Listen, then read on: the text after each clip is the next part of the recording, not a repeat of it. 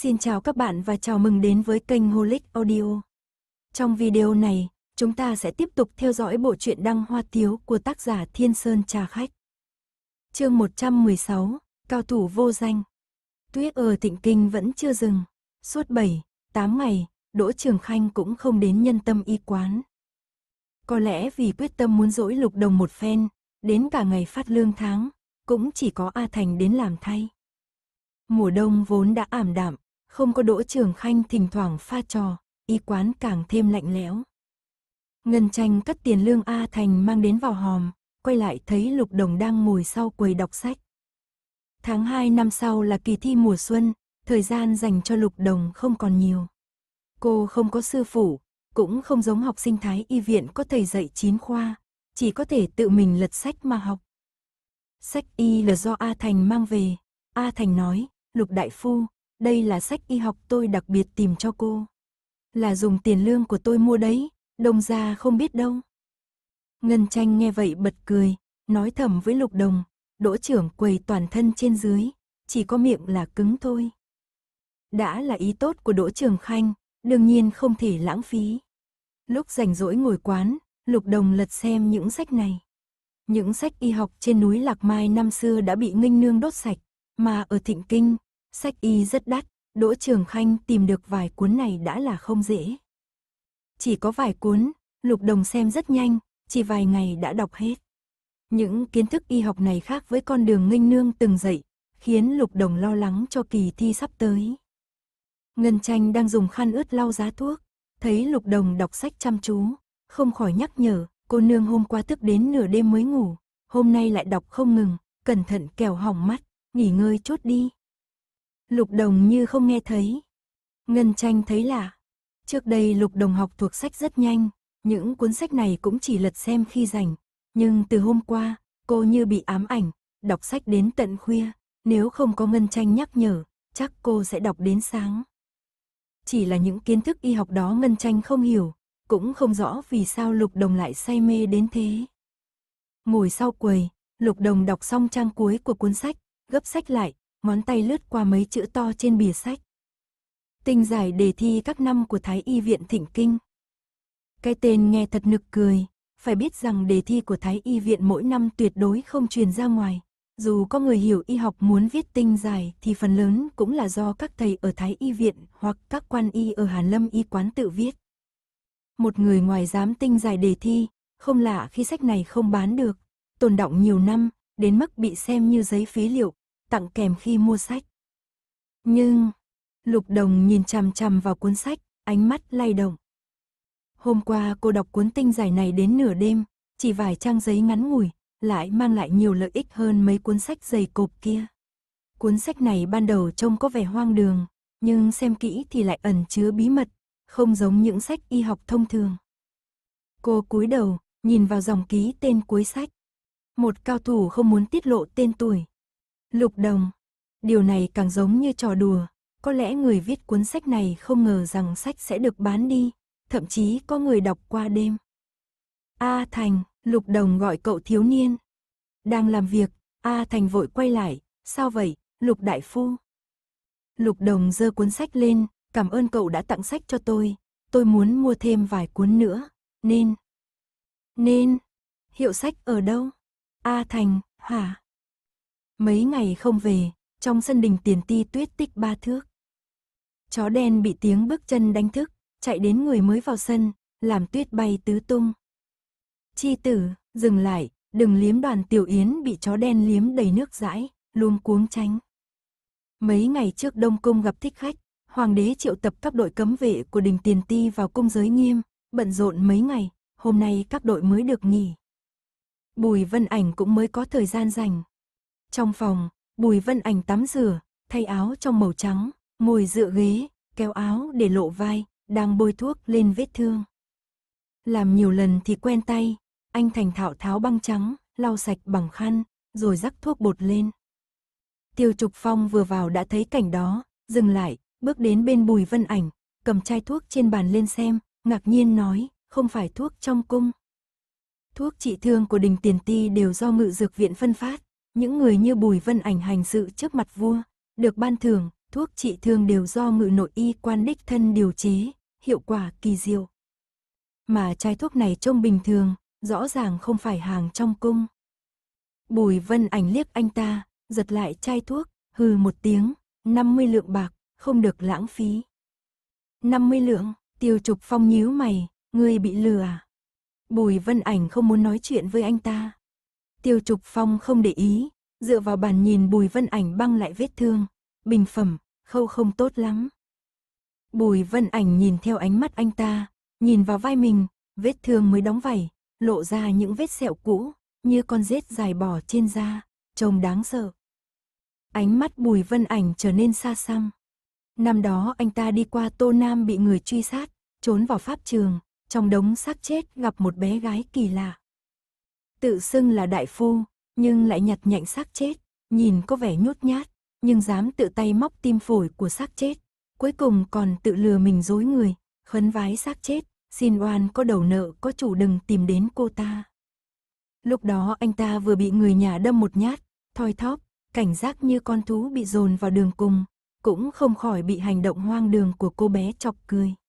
Sau đó anh ta ép cô cứu mình, khâu vết thương cho anh, nhớ mang máng vẻ không tình nguyện của cô bé, nên cố ý, hoặc có lẽ không cố ý, để lại trên vai anh ta một vết sẹo xấu xí. Thực ra nhiều chi tiết, Bùi Vân Ảnh cũng không nhớ rõ. Chỉ nhớ đó là trận tuyết hiếm có ở Tô Nam, ngọn đèn cô độc trong miếu hoang.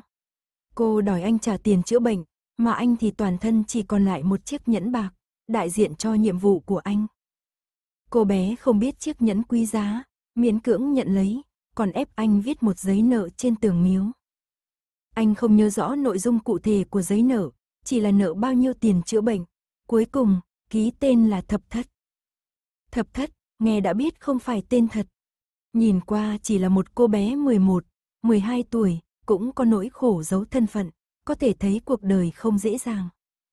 Anh ta không hỏi thêm, như cô bé không truy cứu lai lịch của anh ta, những người qua đường gặp nhau vô tình, không cần biết quá khứ hay tương lai của nhau. Bên cạnh có người nói, cắt đứt suy nghĩ của anh ta.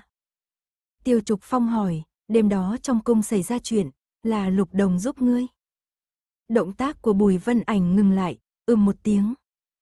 Quá mạo hiểm, Tiêu Trục Phong không tán thành, nếu cô ta bây giờ tố cáo ngươi với quan phủ, ngươi sẽ chết chắc.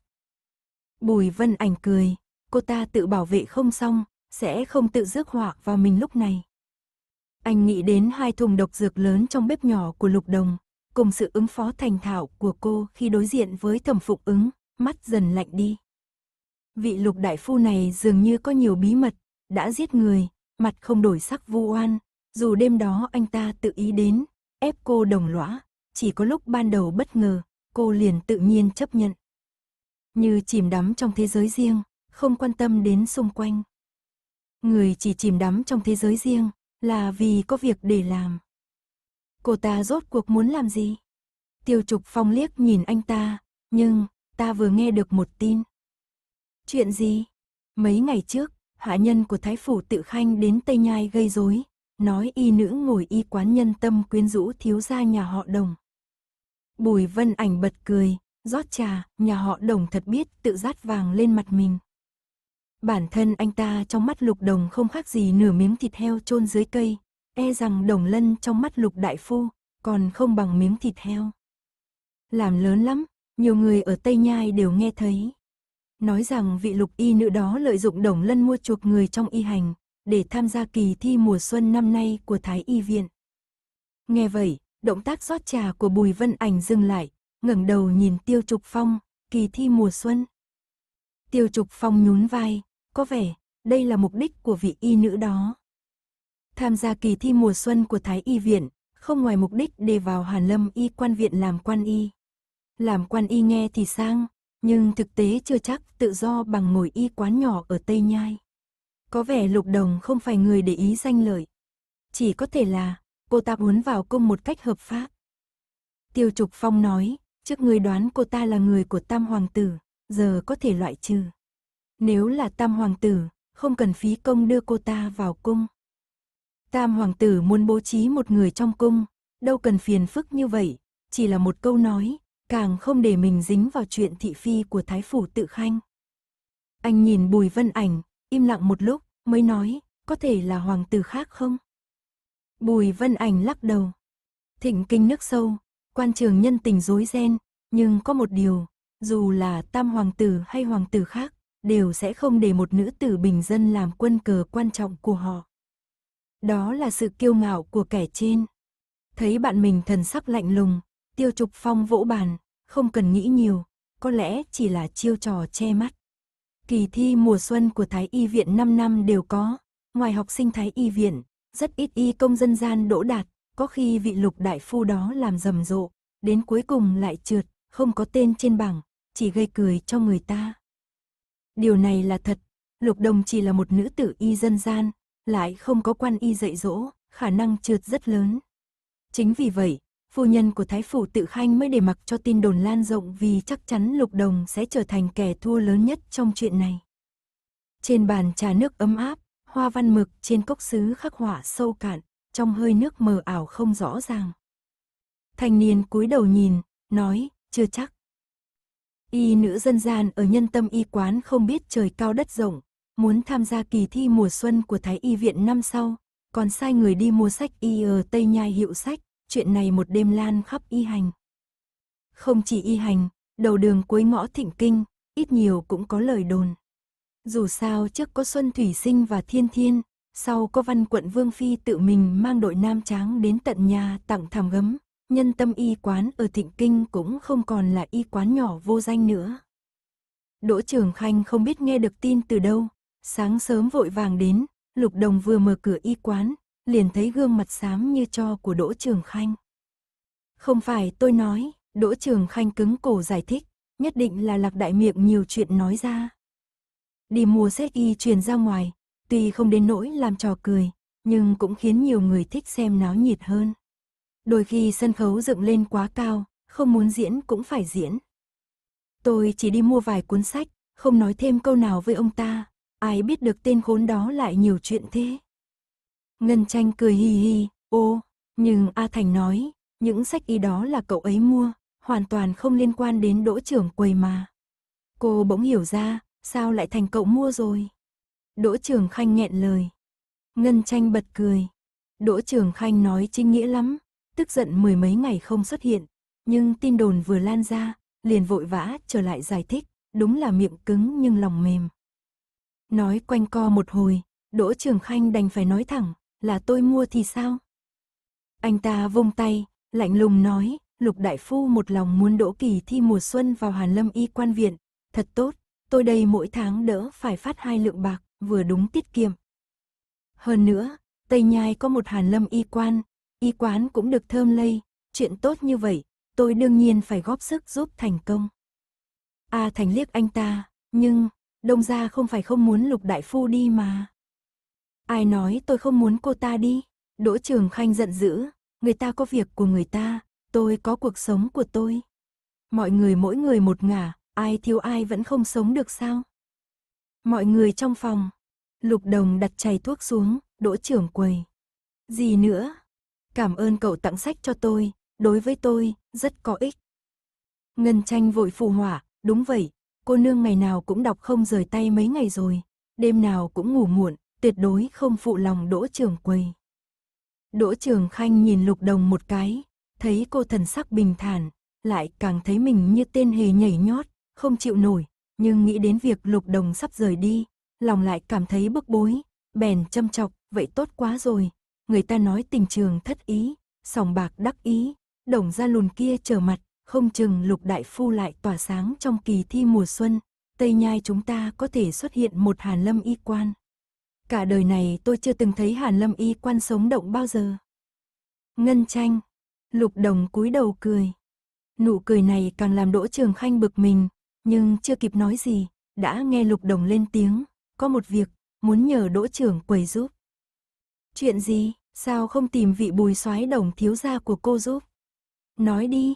Lục đồng cầm cuốn sách trên bàn, tôi muốn biết, đỗ trưởng quầy mua cuốn sách này ở đâu?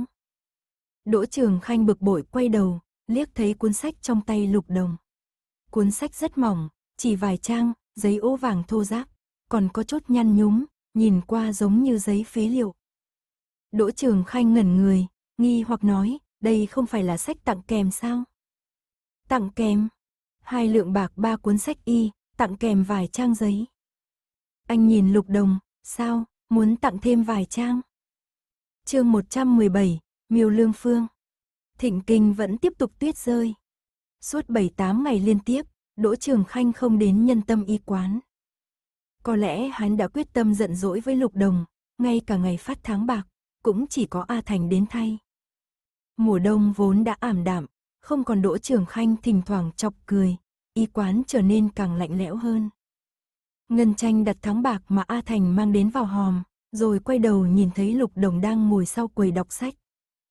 Tháng 2 năm sau là kỳ thi mùa xuân, thời gian để Lục Đồng không còn nhiều. Cô không có sư phụ, cũng không như các học sinh thái y viện có 9 khoa thầy giáo dạy dỗ, việc duy nhất cô có thể làm là lật xem sách y học. Sách y là do A Thành mang về. A Thành nói, Lục Đại Phu, đây là sách y tôi đặc biệt tìm cho cô. Dùng tháng bạc của mình mua, đông ra không biết đâu.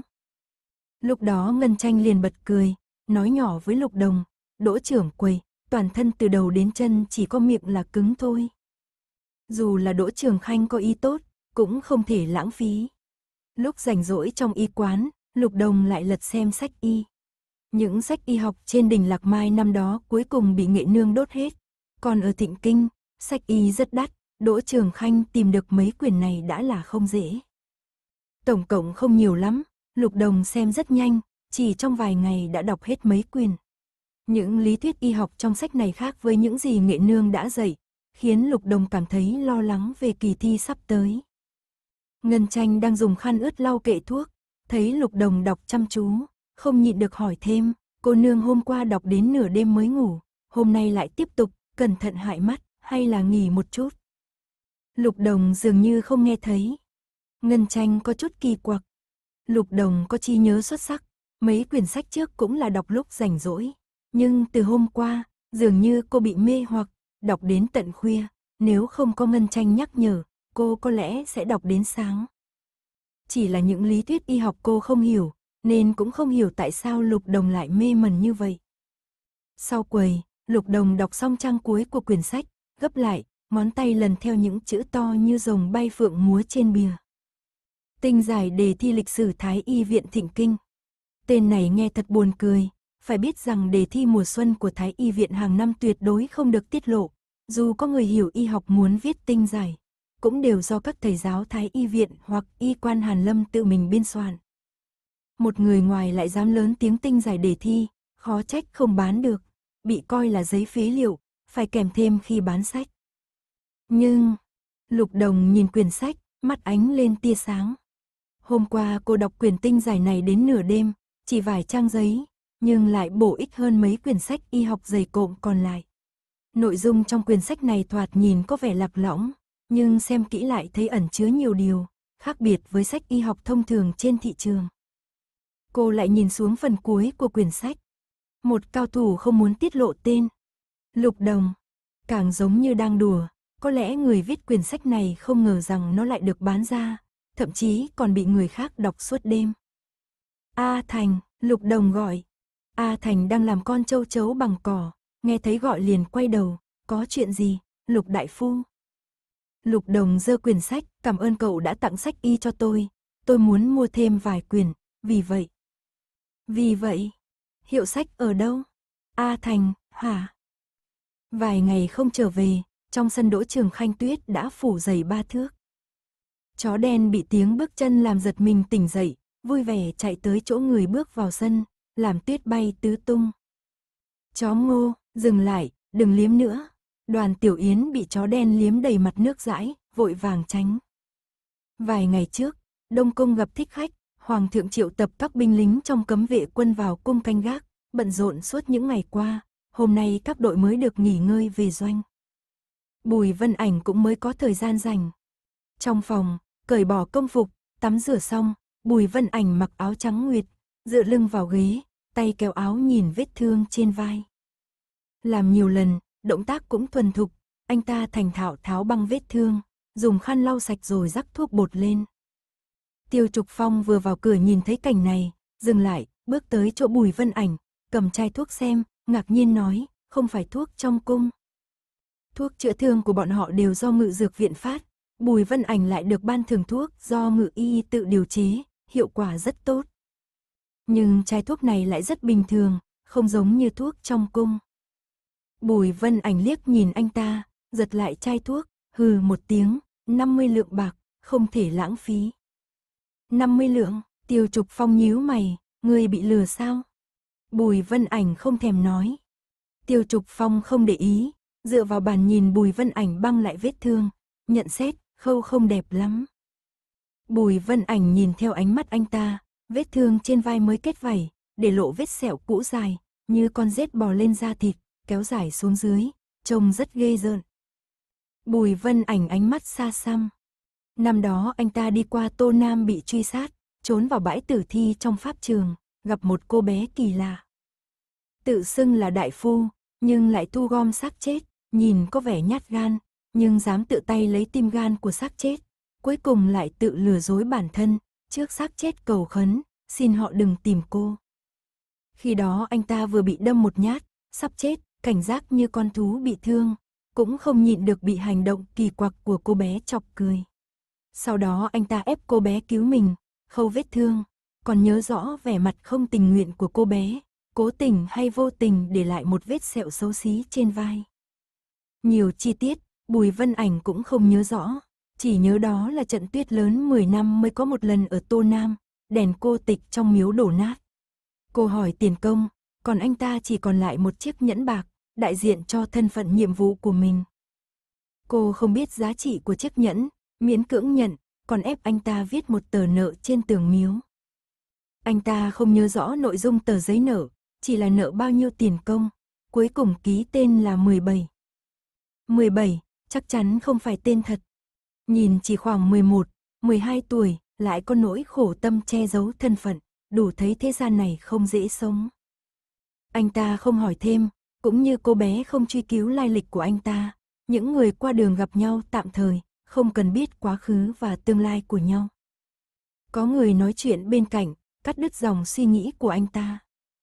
Tiêu Trục Phong hỏi, đêm đó ngươi bị thương, là Lục Đồng giúp ngươi. Bùi Vân Ảnh động tác ngưng lại, ừ một tiếng. Quá mạo hiểm, Tiêu Trục Phong không đồng ý, nếu bây giờ cô ta báo quan, người sẽ chết chắc. Bùi Vân Ảnh cười, cô ta còn lo thân không xong, sẽ không tự chuốc lấy hỏa. Anh ta nhớ lại hai thùng độc vật trong bếp của Lục Đồng, cùng cách ứng phó với thẩm phục ứng một cách thành thạo, ánh mắt dần lạnh đi. Vị Lục Đại Phu này dường như có nhiều bí mật, đã từng giết người, nói dối không chớp mắt, dù rằng đêm đó anh ta xông vào, ép cô cùng dòng chảy, nhưng sau sự ngạc nhiên ban đầu, cô nhanh chóng chấp nhận. Như thể chìm trong thế giới của mình, không quan tâm đến mọi thứ xung quanh. Người chỉ quan tâm đến thế giới của mình, là vì có việc cần làm. Cô rốt cuộc muốn làm gì? Tiêu Trục Phong liếc nhìn anh ta, nhưng, ta vừa nghe được một tin tức. Chuyện gì? Vài ngày trước, người hầu của Thái Phủ tự khanh đến Tây Nhai gây sự, nói nữ đại phu của nhân tâm y quán quyến rũ thiếu gia nhà họ đồng. Bùi vân ảnh cười khẩy, rót trà, nhà họ đồng thật biết tự tôn vinh mình. Bản thân như miếng thịt lợn chôn dưới cây trong mắt lục đồng, e rằng đồng lân trong mắt lục đồng, còn không bằng miếng thịt lợn. Gây sự lớn, nhiều người ở Tây Nhai đều nghe thấy. Nói là nữ đại phu kia lợi dụng đồng lân mua chuộc người trong y hành, muốn tham gia kỳ thi mùa xuân Thái Y Viện năm nay. Lời vừa nói ra, Bùi Vân Ảnh động tác rót trà dừng lại, ngẩng đầu nhìn Tiêu Trục Phong, thi mùa xuân. Tiêu Trục Phong nhún vai, có vẻ, đây chính là mục đích của vị nữ đại phu này. Tham gia kỳ thi mùa xuân Thái Y Viện, chẳng qua là để thông qua rồi vào Hàn Lâm Y Quan Viện làm y quan. Nghe thì có vẻ hào nhoáng, nhưng thực tế không bằng tự mở y quán. Xem ra, Lục Đồng không phải người ham danh lợi. Chỉ có thể là cô muốn danh chính ngôn thuận vào cung. Tiêu Trục Phong nói, trước đây ngươi đoán cô ta là người của Tam Hoàng Tử, giờ có thể loại bỏ. Nếu là người của Tam Hoàng Tử, không cần phải phiền phức thế này để đưa cô ta vào cung. Tam Hoàng Tử muốn sắp xếp người trong cung, đâu cần phiền phức như vậy, chỉ cần một lời, hơn nữa cũng không để dính dáng đến chuyện phong lưu với Thái Phủ tự khanh. Anh ta nhìn Bùi Vân Ảnh, im lặng một lúc, rồi nói, có thể là người của hoàng tử khác. Bùi Vân Ảnh lắc đầu. Thịnh kinh sâu không lường được, quan trường tình cảm rối ren, nhưng có một điều, dù là tam hoàng tử hay hoàng tử khác, đều không để một nữ tử bình dân làm quân cờ quan trọng của họ. Đây là sự kiêu ngạo của người đứng đầu. Thấy bạn thần sắc lạnh lùng, tiêu trục phong vỗ bàn, đừng nghĩ nhiều, có khi chỉ là chiêu trò. Mỗi năm Thái Y viện thi mùa xuân, trừ học sinh Thái Y viện, dân gian y công qua được rất ít, có khi nữ đại phu kia làm lớn chuyện, cuối cùng lại thất bại, trở thành trò cười. Lời này không sai, Lục Đông là một nữ đại phu bình dân, không có thầy dạy, khả năng thất bại rất cao. Chắc chắn vì vậy, đồng phu nhân của Thái Phủ tự khanh mới để tin đồn lan rộng vì chắc chắn Lục Đồng sẽ là kẻ thua cuộc lớn nhất trong câu chuyện phong lưu này. Nước trà ấm trên bàn, cốc sứ khắc hoa mực đen, mờ mờ ảo ảo trong làn hơi nóng. Thanh niên cúi đầu nhìn, chưa chắc. Nữ đại phu nhân tâm y quán không biết trời cao đất rộng, muốn tham gia kỳ thi mùa xuân Thái y viện năm nay, còn nhờ người mua nhiều sách y học ở hiệu sách, chuyện này lan truyền khắp y hành. Không chỉ y hành, mà còn cả thịnh kinh, nhiều người cũng nghe đồn. Dù trước có Xuân Thủy Sinh và Thiên Thiên, sau có văn quận Vương Phi đích thân đến tặng thảm gấm, nhân tâm y quán ở thịnh kinh cũng không phải là quán y vô danh. Đỗ Trường Khanh không biết nghe tin từ đâu, sáng sớm đã chạy tới, Lục Đồng vừa mở cửa quán, liền thấy vẻ mặt như đưa đám của Đỗ Trường Khanh. Không phải ta nói đâu, Đỗ Trường Khanh gân cổ cãi, chắc chắn là do miệng rộng của Lạc Đài. Việc đi mua sách y học lan truyền ra ngoài, dù không phải trò cười lớn, nhưng cũng khiến nhiều người chú ý. Có khi sân khấu dựng quá cao, không muốn diễn cũng phải diễn. Ta chỉ đi mua vài quyển sách, không nói nhiều, ai biết gã khốn đó lại không giữ mồm giữ miệng. Ngân tranh cười, ơ, nhưng A Thành nói, những quyển sách y đó là cậu ta mua, không liên quan gì đến đỗ trưởng quầy mà. Cô giả bộ ngạc nhiên, sao lại thành cậu mua? Đỗ Trường Khanh bị nghẹn. Ngân tranh cười khúc khích. Đỗ Trường Khanh nói rất chính đáng, dỗi hơn 10 ngày không xuất hiện, nhưng vừa nghe tin đồn đã vội vàng giải thích, thật sự là dao nhọn miệng đậu hũ tâm. Cãi cùn một hồi, Đỗ Trường Khanh buông xuôi, là ta mua thì sao? Hắn hất tay áo, cười lạnh, Lục Đại Phu một lòng muốn thi mùa xuân vào Hàn Lâm Y quan viện, rất tốt, ta bớt được hai lượng bạc mỗi tháng, tiết kiệm tiền. Và lại, Tây Nhai có một Hàn Lâm Y quan, y quán cũng được thơm lây, chuyện tốt như vậy, ta đương nhiên phải giúp sức. A Thành liếc hắn, nhưng, đông gia không phải tiếc Lục Đại Phu sao? Ai tiếc cô ta? Đỗ Trường Khanh giận dữ, người ta có việc của người ta, ta có cuộc sống của ta. Mỗi người đi một ngả, ai thiếu ai không sống nổi. Mọi người trong phòng, Lục Đồng bỏ chảy thuốc xuống, Đỗ trưởng quầy. Chuyện gì? Cảm ơn cậu tặng sách y cho tôi, rất có ích. Ngân tranh liền tiếp lời, đúng vậy, cô nương ngày đêm đọc mấy ngày liền, tối cũng ngủ muộn, tuyệt đối không phụ lòng Đỗ trưởng quầy. Đỗ Trường Khanh nhìn Lục Đồng một cái, thấy cô thần sắc bình thản, trái lại hắn như thằng hề không giữ được bình tĩnh, nhưng nghĩ đến việc Lục Đồng sắp rời đi, lại cảm thấy buồn bực, liền chua ngoa nói, thế thì tốt, người ta nói tình trường thất ý, sòng bạc được ý, đồng ra tên lùn trở mặt không nhận người, nói không chừng Lục Đại Phu sẽ thi mùa xuân nổi danh, Tây Nhai chúng ta cũng có một hàn lâm y quan. Ta cả đời này, chưa từng thấy một hàn lâm y quan sống. Ngân tranh. Lục đồng cúi đầu cười. Nụ cười này càng làm Đỗ Trường Khanh khó chịu, nhưng chưa kịp nói, Lục đồng đã lên tiếng, có một việc, muốn nhờ Đỗ trưởng quầy giúp. Chuyện gì, sao không tìm vị bùi soái đồng thiếu gia của cô giúp? Nói đi. Lục đồng cầm quyển sách trên bàn, tôi muốn biết, Đỗ trưởng quầy mua quyển sách này ở đâu? Đỗ trưởng khanh cao có quay đầu, nhìn quyển sách lục đồng đang cầm. Quyển sách rất mỏng, chỉ vài trang, giấy vàng úa, nhăn nhúm, trông như giấy phế liệu. Đỗ Trường Khanh ngẩn ra, nghi ngờ, đây không phải đồ kèm theo sao? Đồ kèm theo? Hai lượng bạc ba quyển sách y, tặng kèm vài trang giấy. Hắn nhìn Lục Đồng, sao, muốn thêm vài trang? Lục Đồng nhìn hắn, tôi muốn biết, là ai viết quyển sách này? Đỗ Trường Khanh thở dài, quyển sách này bán không được, Lạc Đại tặng kèm.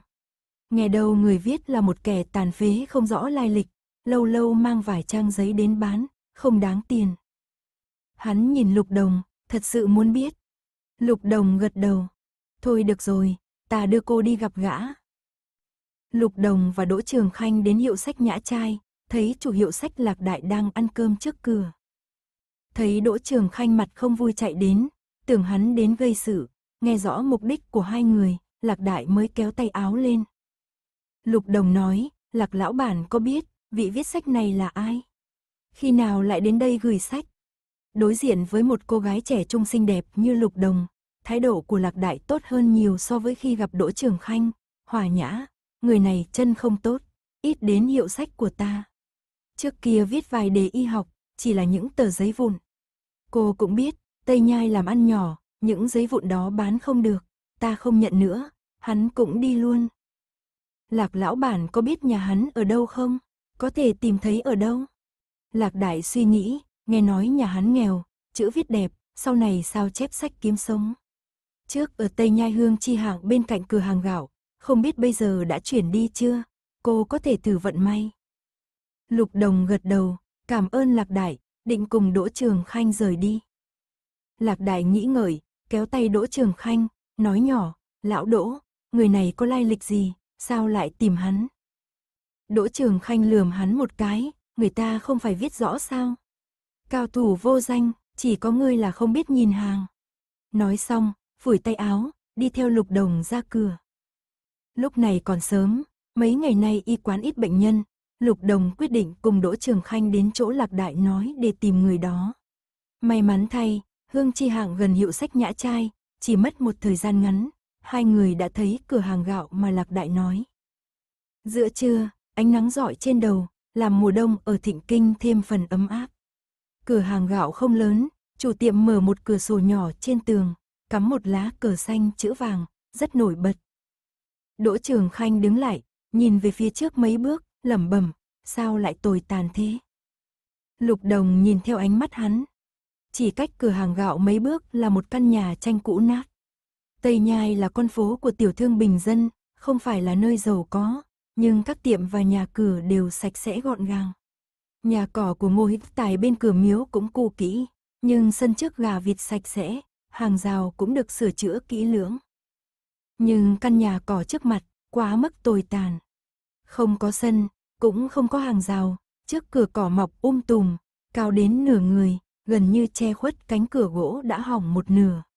Trời nắng, ánh nắng chỉ dọi đến nửa cửa, bên trong là bóng tối u ám, mái nhà dài đổ bóng trên đất, như thể người thấy mùi ẩm mốc từ bên trong. Đỗ Trường Khanh có chút chán ghét, trông không giống có người ở, có khi đã chuyển đi rồi. Lục Đồng nhìn cỏ trước cửa, không nói gì, đi tới. Đỗ Trường Khanh đành đi theo. Đến cửa, Lục Đồng gõ nhẹ hai cái, không ai đáp, cánh cửa gỗ cũ không chịu nổi cú gõ nhẹ, kêu cọt kẹt, mở ra một khe hở. Cửa tự mở. Có ai in nhà không? Đỗ Trường Khanh gọi hai tiếng. Không ai trả lời. Lục Đồng đẩy cửa bước vào. Bên trong rất tối, không biết có cửa sổ không, chỉ có chút ánh sáng từ ngoài cửa dọi vào. Đỗ Trường Khanh đi theo, không nhịn được bịt mũi. Lục Đồng bước một bước, chân vấp phải cái gì đó, nhìn xuống, thấy vài bình rượu rỗng.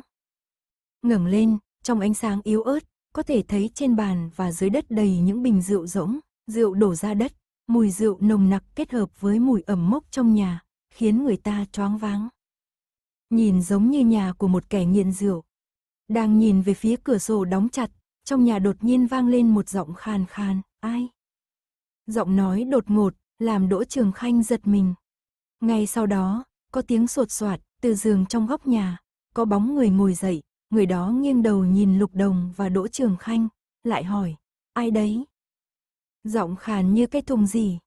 Đỗ Trường Khanh vội vàng mở cửa sổ, thêm ánh sáng dọi vào, soi rõ bóng người trên giường.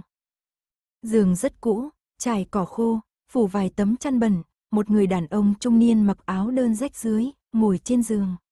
Người đàn ông khoảng 4, 50 tuổi, tóc hoa dâm, rối tung, dường như mấy ngày không rửa mặt, râu ria xồm xoàm, nghe thấy tiếng động, người đàn ông ngẩng đầu, lộ ra đôi mắt đỏ ngầu, không tỏ vẻ giận dữ, chỉ là khàn khàn hỏi, tìm ai? như thể còn chưa tỉnh rượu. Lục đồng bước lên hai bước, hỏi, xin hỏi, có phải là miêu tiên sinh? Chủ hiệu sách nhã trai nói, người này đi lại một mình, nghiện rượu, không ai quen biết, chỉ biết hắn họ miêu. Nghe thấy miêu tiên sinh, người đàn ông mắt sáng hơn một chút, nhìn lục đồng một lúc, mới nói, tìm ta làm gì? Đỗ Trường Khanh sắc mặt khó coi. Người này nhìn tồi tàn, trong nhà đầy bình rượu, như kẻ nghiện rượu trong hẻm. Ban ngày say rượu, nói năng thô lỗ, không giống người hiểu y lý.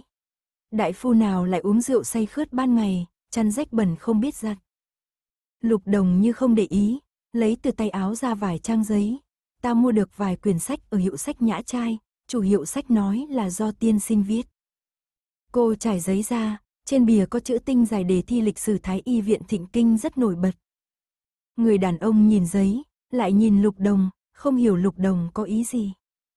Ta muốn mua thêm vài quyển sách của tiên sinh, lục đồng nói. Người đàn ông ngẩn ra. Đôi mắt bẩn thỉu dường như có ánh sáng lướt qua, nhưng rất nhanh, anh ta bật cười, gãi đầu, đùa gì thế, đây là ta chép của người khác.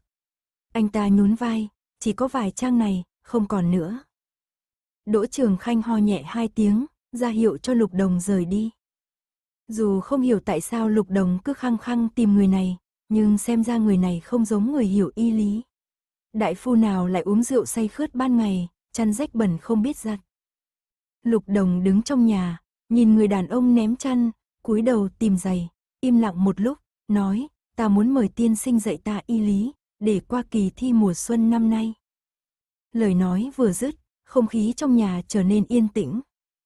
Người đàn ông dừng tìm giày, từ từ ngẩng đầu nhìn Lục Đồng. Lục Đồng nhìn lại anh ta. Một tia nắng dọi vào nhà, dọi sáng nửa giường, khuôn mặt nhăn nheo, bụi bặm như mặt đất ẩm ướt trong nhà, là khuôn mặt tầm thường đến mức nhếch nhác của một người trung niên, đầy vẻ mệt mỏi. Trong chốc lát, Lục Đồng thấy đôi mắt say xỉn đó sáng lên. Nhưng rất nhanh, ánh sáng đó tắt lịm, Người đàn ông cúi xuống, tìm giày dưới giường, đi vào. Anh ta một chân bị què, bước đi khập khiễng, đến bàn, lấy ra một nồi sắt cũ, đổ nửa bát gạo vào, múc một gáo nước, rồi bắt đầu nấu cháo. Anh ta nói, cô nhầm người rồi, ta không phải đại phu, không giúp được cô. Lục đồng nói, ta thấy trước cửa nhà tiên sinh trồng nhiều thảo dược, nếu không chăm sóc, không thể mọc tốt như vậy. Chắc hẳn tiên sinh hiểu biết về y học, Đỗ Trường Khanh ngạc nhiên. Những cỏ dại trước cửa thật ra là thảo dược. Dù không biết chữa bệnh, nhưng những năm ở y quán cũng có ít nhiều hiểu biết. Thảo dược thông thường cũng biết, không ngờ không nhận ra. Người đàn ông khựng lại, đổi chủ đề, các người là ai? Đỗ Trường Khanh mắt sáng lên, chưa kịp để Lục Đồng nói, đã báo danh, ta là chủ nhân tâm y quán, Đỗ Trường Khanh, đây là Lục Đại Phu của y quán. Nhân tâm y quán mở ở Tây Nhai nhiều năm, tiên sinh có thể đi hỏi, tuyệt đối uy tín. Nếu tiên sinh đồng ý dạy lý y học cho lục đại phu của chúng tôi, chúng tôi sẽ trả công, điều kiện cứ nêu. Người đàn ông ngẩng đầu, cắt lời, nhân tâm y quán. Đỗ Trường Khanh vui mừng, định nói tiếp, nhưng người đàn ông lơ đãng nói, à, ta nghe nói rồi, mấy hôm trước có người ở Thái Phủ tự khanh đến gây sự với nữ đại phu của các người. Anh ta nhìn lục đồng, chậm rãi nói, một người. Muốn dùng thân phận y quan Hàn Lâm để trèo cao, lại nhìn Đỗ Trường Khanh, cười mỉa mai, một kẻ. Lêu lồng nửa đời, bỗng nhiên hối cải, không có tiền đồ, đừng lãng phí sức. Đỗ Trường Khanh tự nhận mình đã rất lịch sự với người này, không ngờ lại bị chê giễu, tức giận, người nói nhảm gì, bị Lục Đồng kéo lại. Lục Đồng nhìn người đàn ông, anh ta ngồi dưới đất, chăm chú nhìn nồi cháo. Nồi cháo đổ nhiều nước, chỉ có một ít gạo, loãng đến mức nhìn thấu đáy. Anh ta nhìn chằm chằm như đang nhìn món ngon, ánh mắt thèm thuồng. Tiên sinh không đồng ý với yêu cầu của chúng tôi hôm nay. Cô hỏi, người đàn ông phất tay như đuổi ruồi, không thèm nói chuyện. Lục đồng gật đầu, ta hiểu rồi, cáo từ. Cô cúi người, rời khỏi nhà, Đỗ Trường Khanh đi theo, phía sau tức giận lầm bẩm, thế là xong. Người này có phải có vấn đề? Cô nhìn kỹ xem, trước cửa thật không phải là cỏ dại. Nếu anh ta biết y học sao lại sống như thế này, nồi còn hỏng. Ăn mày còn tươm tất hơn anh ta. Lục đồng dừng chân, quay lại nhìn. Ánh nắng chiếu trước cửa, cỏ mọc um tùm, như tấm lưới đen, muốn nuốt chừng căn nhà cũ kỹ, bẩn thỉu. Cửa sổ họ mở ra khi vào, không biết đã bị đóng lại từ lúc nào. Căn nhà đen tối và người bên trong đang thối giữa trong ánh nắng, như rêu mọc trong nhà, ẩm ướt không thấy mặt trời.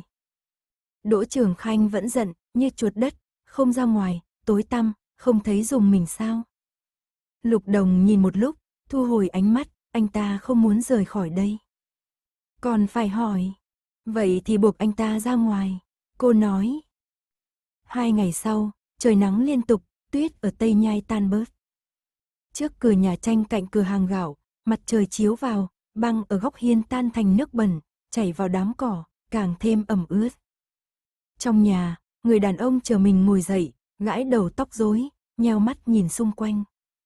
Nhà rất tối, khắp nơi đều là bình rượu rỗng, chén rượu trên bàn vẫn còn nửa bát. Miêu Lương Phương cầm chén, uống cạn, chậm chạp xuống giường, viện tường đi đến bàn thấp. Túi gạo đặt trên bàn thấp, Miêu Lương Phương đứng dậy, cầm túi gạo lắc lắc, chỉ rơi vài hạt gạo, anh ta thở dài, mò trong ngực, móc ra vài đồng xu, cầm gậy trống, khập khiễng ra cửa. Giữa trưa, nắng ấm áp. Ở trong tối lâu, đột ngột ra ngoài, ánh nắng làm anh ta nheo mắt. Miêu Lương Phương chống gậy, chậm chậm đi về phía cuối ngõ Tây Nhai. Cửa hàng gạo hôm nay không mở, anh ta đã uống cháo trắng một tháng, hôm nay định tự thưởng một bữa ngon, quyết định đến quán mì ở đầu ngõ ăn một bát mì canh. Tây Nhai người qua lại đông đúc, Miêu Lương Phương viện tường, cẩn thận không bị đụng. Anh ta đi chậm, đường một nén hương, anh ta phải đi hơn nén nhang.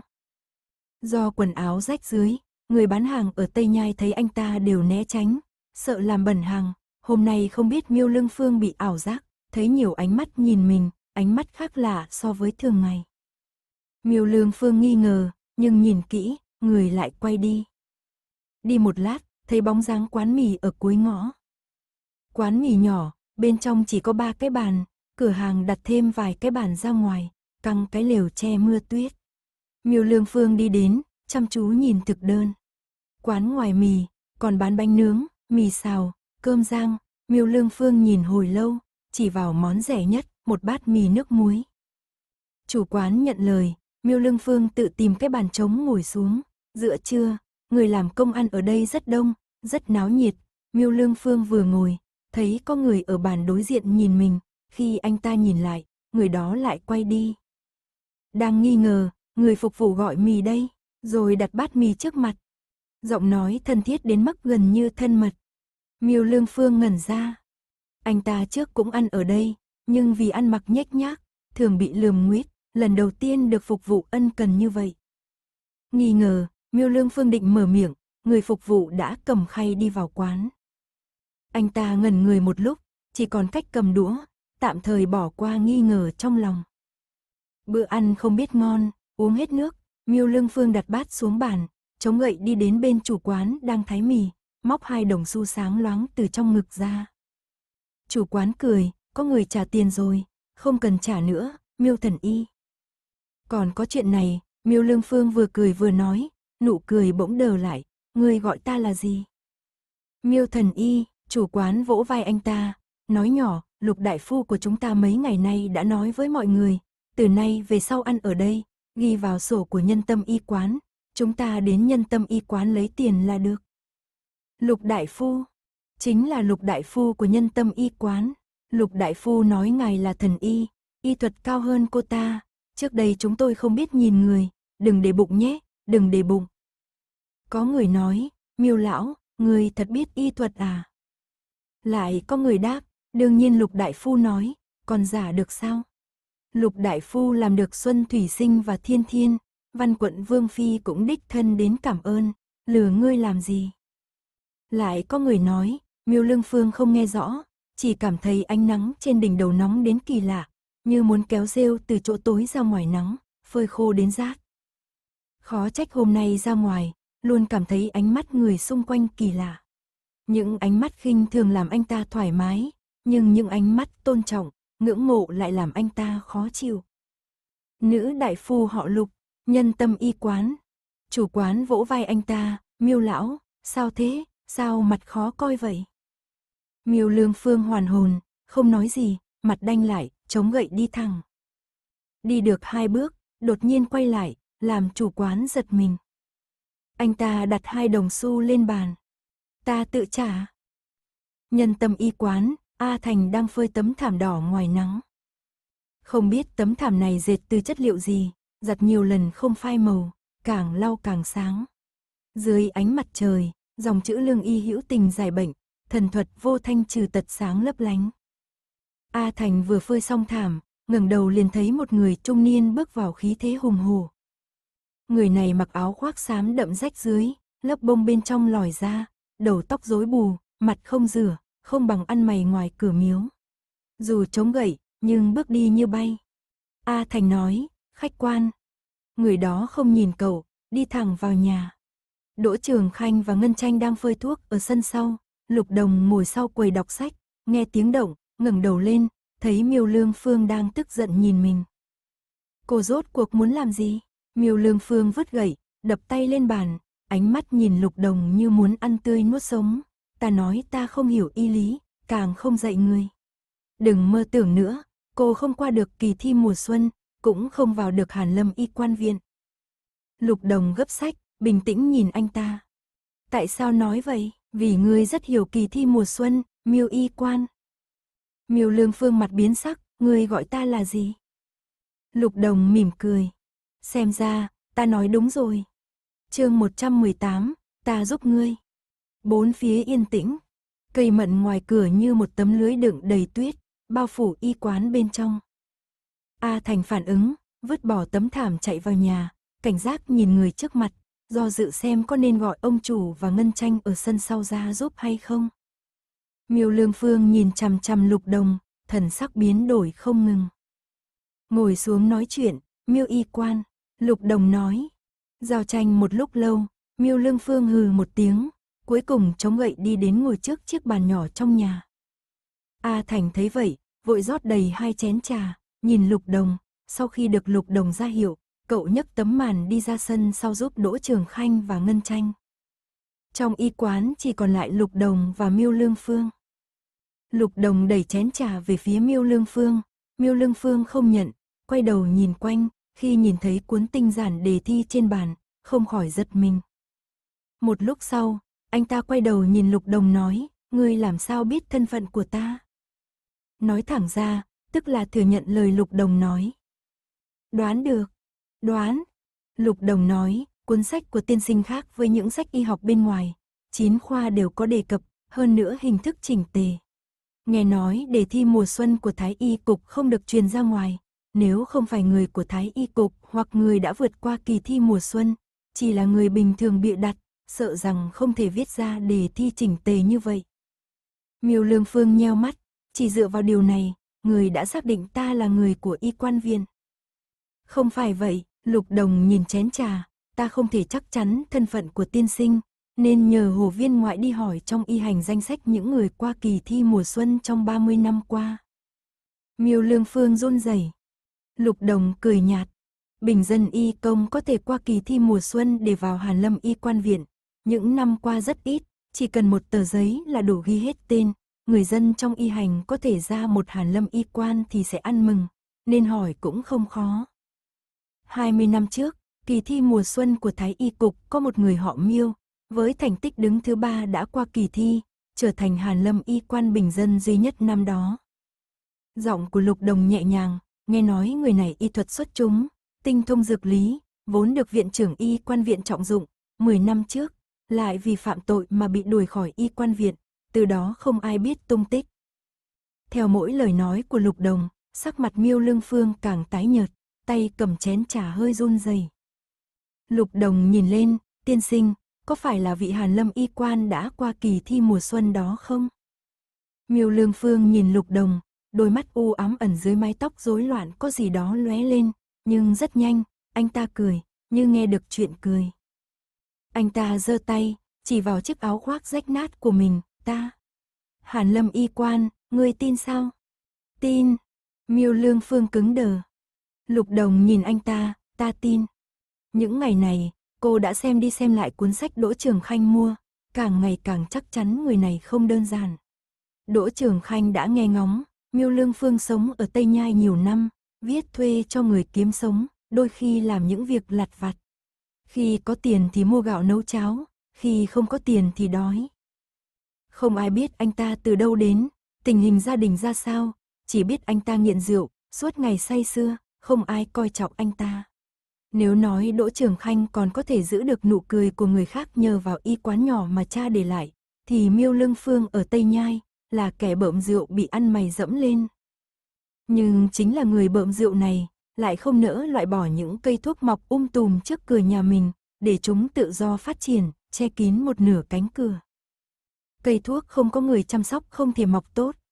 Người trước mặt nhìn lục đồng, nụ cười trên mặt càng lúc càng khó duy trì, nắm chặt tay, giọng khàn khàn, ngươi điều tra những điều này, rốt cuộc muốn làm gì? Ta đã nói rồi, ta muốn tham gia kỳ thi mùa xuân của Thái Y Cục, vào Hàn Lâm Y quan viện làm y quan. Đừng đùa nữa, Miêu Lương Phương cười khẩy, mỗi năm kỳ thi mùa xuân, bình dân y công có mấy người làm được y quan.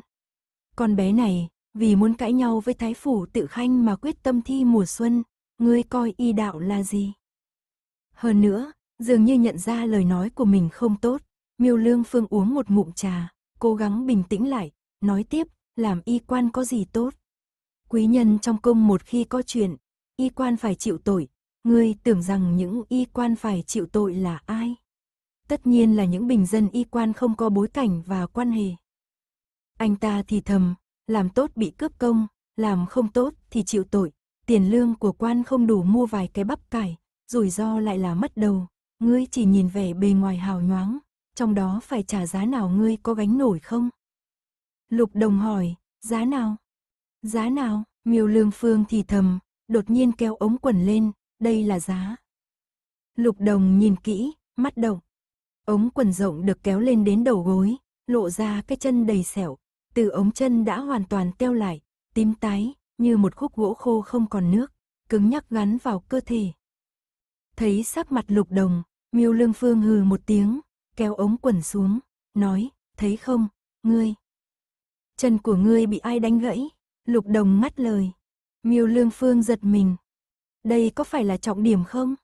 Lục đồng nhìn anh ta, ngươi bị đuổi khỏi Hàn Lâm y quan viện vì sao? Ngươi, ai hại ngươi? Người trước mặt hỏi từng câu một, giọng bình tĩnh, khiến anh ta bối rối. Tay miêu lương phương đặt bên chân hơi nắm chặt, cúi đầu hít một hơi sâu, nói, đó không phải là. Ta có thể giúp ngươi báo thù. Lời nói ngưng lại, anh ta đột nhiên ngẩng đầu. Lục đồng nhìn anh ta, ta không biết ai đã hại ngươi đến mức này, nhưng nếu ngươi giúp ta qua kỳ thi mùa xuân, vào Hàn Lâm Y quan viện, ta có thể giúp ngươi trả thù. Cô y nữ trẻ thần sắc bình tĩnh, lời hứa lạnh lùng từ miệng cô nói ra, như một câu nói thường ngày. Khói trà mỏng manh bao phủ khuôn mặt xinh đẹp của cô, mắt lạnh như biển sâu. Cô đang dụ anh ta chấp nhận điều kiện. Mặt miêu lương phương co giật vài cái, chỉ cảm thấy cái chân đã nhiều năm không còn cảm giác, không biết khi nào, lại bắt đầu đau nhè nhẹ. Đùa cái gì, anh ta thì thầm, sau đó, thần sắc trở nên giận dữ, chừng mắt nhìn lục đồng, đùa cái gì.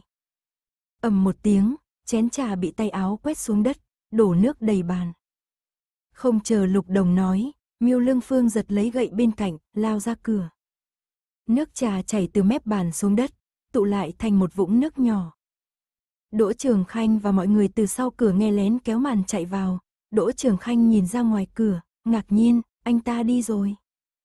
Lục Đồng cùng nhìn ra ngoài, ngoài cửa không còn bóng dáng miêu lương phương, chỉ có dấu chân lộn xộn và vết gậy in trên tuyết, nhắc nhở anh ta đã đến. Anh ta sẽ quay lại, Lục Đồng khẽ nói. Đêm dần khuya, cửa hàng Tây Nhai đóng cửa từng nhà, đèn lồng đỏ trên mái dần sáng lên. Ánh trăng sáng ngời trên tuyết trắng dài, khi chiếu vào căn nhà tranh thì đột ngột dừng lại. Dường như dù là ban ngày hay ban đêm, ánh nắng hay ánh trăng, ánh sáng cũng không chiếu vào được. Cỏ dại trước cửa bị người ta nhổ, cánh cửa gỗ cũ phát ra tiếng kéo kẹt nặng nề, kèm theo tiếng gậy chống đất, miêu lương phương bước vào nhà. Đã là đêm, trong nhà không có đèn. Anh ta chưa bao giờ thắp đèn. Như một con thú đi săn trở về hang tối, càng tối càng yên tâm. Ban ngày lang thang khắp phố, về nhà mới cảm thấy chân còn lại mệt mỏi. Thường vào giờ này, anh ta chỉ lên giường, say rồi ngủ, nhưng hôm nay, chẳng hiểu sao, Miêu Lương Phương lần mò đến bên cửa sổ, dùng sức đẩy mở cánh cửa nhỏ không rộng. Một tia trăng theo khe cửa lèn vào nhà, Miêu Lương Phương theo phản xạ đưa tay che mắt, qua một lúc lâu, mới dần dần hạ tay, dần thích nghi với đêm có ánh sáng. Trên bàn có một bình rượu, Miêu Lương Phương cầm lên, ngửa cổ uống một hồi, chỉ đổ ra vài giọt rượu còn sót lại. Anh ta chán nản lau mặt, ném bình rượu xuống đất, bốp một tiếng, âm thanh trong đêm rất rõ ràng. Anh ta không chú ý mảnh vụn dưới đất, ngửa đầu nhìn mặt trăng qua khe cửa. Trăng lưỡi liềm nhỏ và sáng, viền trắng mờ, như một lá cờ nhỏ phát sáng, tung bay trên bầu trời đen. Anh ta bỗng nhớ lại ban ngày ở nhân tâm y quán, cái thảm mà cậu bé kia phơi nắng, dòng chữ thiêu sáng ngời, thu hút ánh nhìn. Lương y hữu tình giải bệnh, thần thuật vô thanh trừ tật. Cờ tượng trưng cho vinh quang, lời cảm ơn, thậm chí là phần thưởng quý giá. Anh ta từng có những lời nịnh nọt, người qua kể lại tâm bốc, ánh mắt ngưỡng mộ của người khác, anh ta cũng từng trải qua. Nhưng sau đó, Miêu Lương Phương cúi đầu, nhìn chân phải không còn cảm giác. Ánh trăng chiếu lên người anh ta, chiếu rõ ống quần bẩn thỉu, vết bẩn không biết là dầu mỡ hay gì, như máu không ngừng rỉ ra, đau đến mức anh ta khó thở. Bỗng có tiếng la hét hỗn loạn vang lên bên tai. Miêu Lương Phương, người tự cao tự đại, cố ý chẩn đoán sai làm nương nương trúng độc, tàn nhẫn vô đức, không xứng làm thầy thuốc, nên bị trừng phạt. Anh ta nghe thấy tiếng mình tuyệt vọng, oan, hạ quan oan ùm. Có bóng người lướt qua trước mặt, áo quan chỉnh tề, giày ủng mới tinh không dính bụi, rồi nặng nề đạp lên cái chân máu thịt mơ hồ của anh ta, nghiền nát. Miêu Lương Phương à Miêu Lương Phương, anh ta nhìn thấy vô số gương mặt, vui vẻ, đắc ý, tràn đầy khinh miệt và độc ác, cười nói, người nghĩ tên là Lương Phương, biết vài phương thuốc thì có thể hoành hành ở y quan viện sao? Anh ta khinh bỉ vỗ mặt Miêu Lương Phương, nhổ ra hai chữ, tiện dân. Tiện dân, Miêu Lương Phương ngồi bên cửa sổ, thần sắc mơ màng. Gia đình làm thuốc qua nhiều đời, trăm năm kinh nghiệm anh ta biên soạn thành sách, thể viết ra một cuốn miêu thị lương phương, mang lại lợi ích cho y công bình dân. Nhưng sau đó, anh ta bị trừng phạt, bị đuổi khỏi Hàn Lâm y quan viện, cuốn miêu thị lương phương vẫn được biên soạn, nhưng người biên soạn là tên khác. Anh ta đã tranh đấu, đã nổi giận, cuối cùng như đá chìm đáy biển, không một lời hồi đáp. Phương thuốc gia truyền không giữ được, trở thành của người khác, anh ta không dám về quê, càng không dám đối diện với tổ tiên miêu gia, nên nhiều năm lang thang ở kinh thành, nghiện rượu sống qua ngày. Lâu dần, anh ta chỉ biết mình là miêu què ở Tây Nhai, nhưng quên rằng mình từng là miêu y quan vang danh, đắc ý trong kỳ thi mùa xuân. Nữ đại phu kia, nữ đại phu lông mày trầm tĩnh, như nhìn thấu nỗi đau và giận dữ, bí mật và đau buồn của anh ta, nói với anh ta, ta có thể giúp ngươi trả thù. Cô ta thậm chí không biết chuyện gì đã xảy ra. Miêu Lương Phương tự cười mình. Không nên mong đợi. Vài năm đầu sau khi chuyện xảy ra, anh ta tìm khắp bạn cũ, bạn bè cũ đều tránh né, sợ rước họa vào thân. Những người anh ta từng cứu trách anh ta lợi dụng ơn nghĩa, khuôn mặt chính trực khiến anh ta kinh sợ. Không ai muốn giúp anh ta. Không ai dám mạo hiểm giúp một kẻ xuất thân bình dân, phạm tội lớn. Huống chi 10 năm qua, kẻ hại anh ta đã nắm giữ quyền cao, không thể lay truyền. Cô ta chỉ là một đại phu nhỏ, lại nói lời lớn giúp anh ta trả thù. Thật nực cười. Buồn cười, miêu lương phương co rúm người lại, che mặt cười thầm. Thật nực cười. Cười, nhưng nước mắt trong suốt rơi xuống kẽ tay, làm ướt ánh trăng bên cửa sổ. Đêm đông lạnh, gió như tiếng nức nở. Ngân tranh đứng trước bàn, cẩn thận đóng cửa sổ, để lạnh và bóng tối bị ngăn lại bên ngoài. Trong nhà đèn dầu mờ mờ, cô cắt bỏ một đoạn bấc, ánh sáng liền sáng lên. Ngân tranh đặt kéo xuống, quay lại nhìn lục đồng đang thu dọn y thư. Cô nương, miêu tiên sinh hôm nay, thật sự sẽ quay lại sao? Có thể, lục đồng nói. Thật ra cô cũng không chắc, anh ta rời đi quyết liệt, không nói thêm một lời, có quay lại hay không, phụ thuộc vào chấp niệm trong lòng. Nhưng đã 20 năm từ khi Miêu Lương Phương thi đỗ kỳ thi mùa xuân, và cũng đã 10 năm từ khi anh ta rời khỏi Hàn Lâm Y quan viện. Thời gian là thứ kỳ diệu, nó có thể thay đổi tất cả, có thể làm mòn ý chí, biến anh hùng thành người tầm thường. Nhưng, Ngân Tranh tò mò, cô nương làm sao biết miêu tiên sinh bị hại. Người miêu què sống ở Tây Nhai nhiều năm, hàng xóm không ai quen, lại vì anh ta nghiện rượu, ít người hỏi thăm. Nhưng Lục Đồng vừa nhìn đã biết anh ta không phải người thường, tìm ra thân phận y quan của anh ta, còn nói giúp anh ta trả thù. Lục Đồng nói, ta không biết. Ngân tranh ngạc nhiên, nhưng cô nương nói. Ta chỉ nói giúp anh ta trả thù kẻ hại chân anh ta, không nói anh ta bị hại. Lục Đồng thu dọn y thư, anh ta tốt xấu thế nào, ta không quan tâm. Miêu Lương Phương và Hàn Lâm y quan viện có chuyện gì cô không bận tâm, cô chỉ quan tâm Miêu Lương Phương có thể dùng được hay không. Như năm đó Cúc Cơ cứu Lục Gia Đồng, với điều kiện là Lục Đồng đi theo, hôm nay cô và Miêu Lương Phương cũng chỉ là một giao dịch. Bạc không làm động lòng Miêu Lương Phương, tự nhiên có thứ khác. Người sống một đời, không ngoài yêu ghét. Ngân tranh im lặng một lúc, cẩn thận hỏi, nhưng, nếu miêu tiên sinh không chịu giúp cô nương, phải làm sao? Miêu Lương Phương trông như không ai động được, Đỗ Trường Khanh tự đến hứa hẹn lợi ích, anh ta không động lòng. Ban ngày đến y quán hùng hồ tìm lục đồng tính sổ, nói chưa mấy câu đã bỏ đi.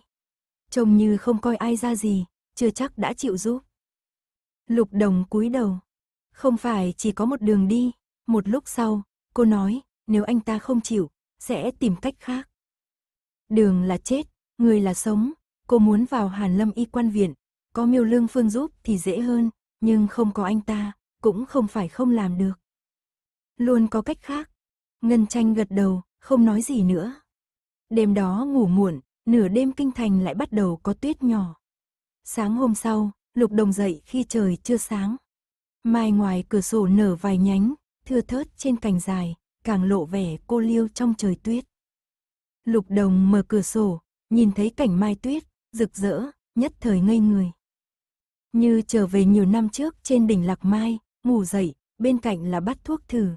Cô bò dậy, lảo đảo chạy ra ngoài, ngẩng đầu, khắp núi tuyết trắng xoa. Có người gọi sau lưng, cô nương. Lục đồng chợt tỉnh, ngân tranh dụi mắt đứng ở cửa, sao cô dậy sớm thế? Cô ngây ra một lúc, dường như mới hiểu ra, đây là kinh thành dưới chân thiên tử, không phải đỉnh lạc mai xa xôi ở Tô Nam.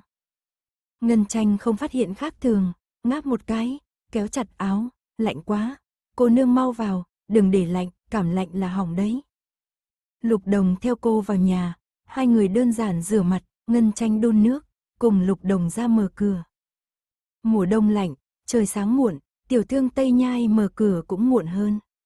Cửa y quán mở, đối diện tiệm may và tiệm giày còn đóng cửa, trời vừa sáng, sau cơn tuyết, chân trời xám xịt, như phủ một lớp sương trắng.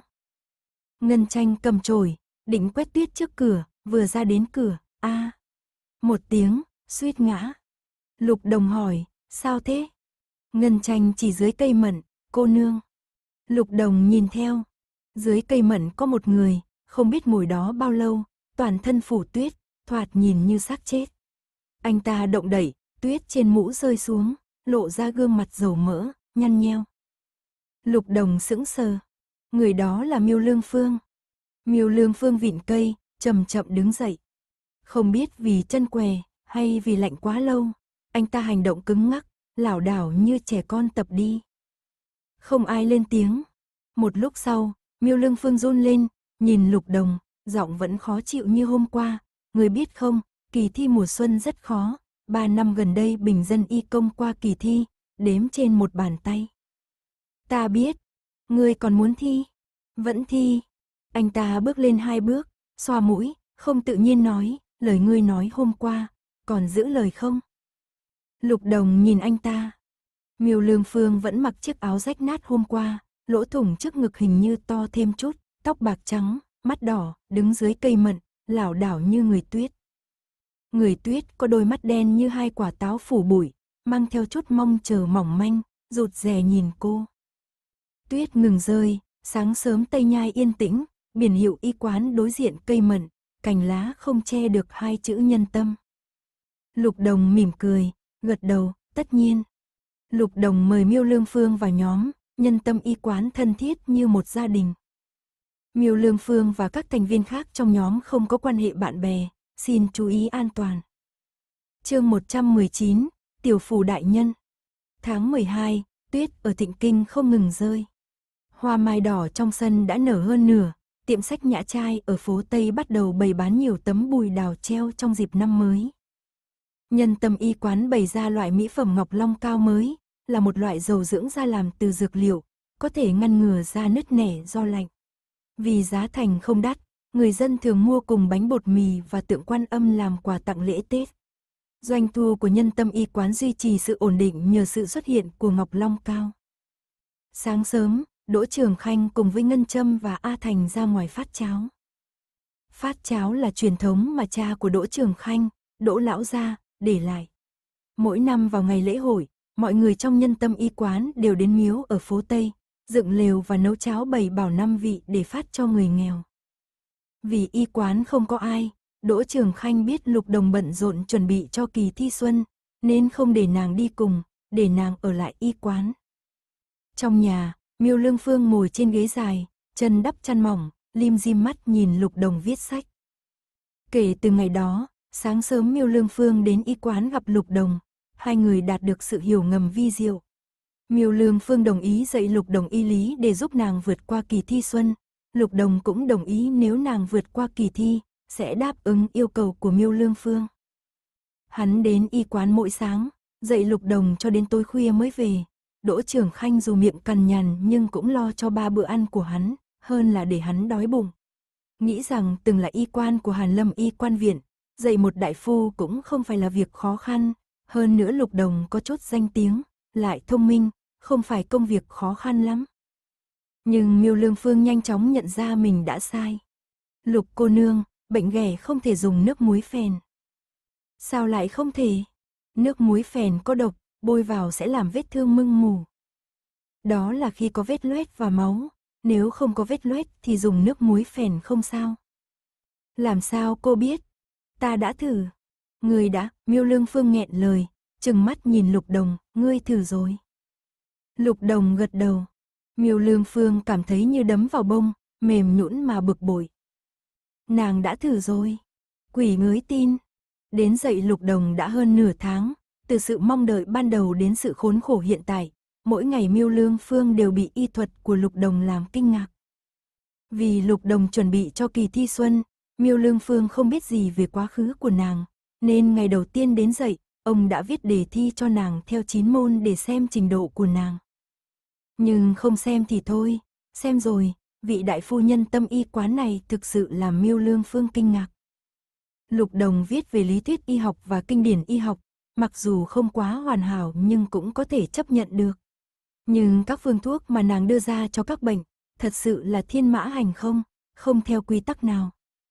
Một số phương thuốc thông thường không sao, nhưng hễ có chút khó khăn, Lục Đồng phân tích bệnh lý chính xác, nhưng phương thuốc thì luôn kèm theo một hai vị thuốc độc. Ban đầu, Miêu Lương Phương nghĩ Lục Đồng chỉ quen viết phương thuốc như vậy, nhưng sau này viết nhiều, một số phương thuốc Miêu Lương Phương chưa từng nghe qua, dần dần nhận thấy có điều bất thường. Vị Lục đại phu này, thay vì nói nàng hiểu y lý, nên nói nàng hiểu rõ về các loại độc hơn. Nàng giỏi dùng độc để trị bệnh.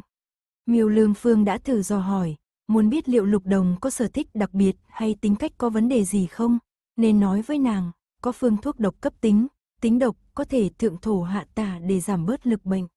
Nhưng cũng có phương thuốc chữa bệnh không độc, tính không độc thì hiệu quả chậm. Người thử thay đổi phương thuốc xem. Lục Đồng nhíu mày, ta không biết. Câu trả lời dứt khoát. Thử vài lần, Miêu Lương Phương dần hiểu ra, Lục Đồng thực sự không hiểu y lý, cũng không được dạy dỗ bài bản, dường như nàng học y hoàn toàn tự mình mò mẫm, và cơ sở của sự mò mẫm đó là độc dược. Nàng rất quen thuộc với các loại độc dược, mức độ thành thạo khiến Miêu Lương Phương kinh ngạc. Điều càng làm người ta kinh ngạc hơn là các phương thuốc của Lục Đồng.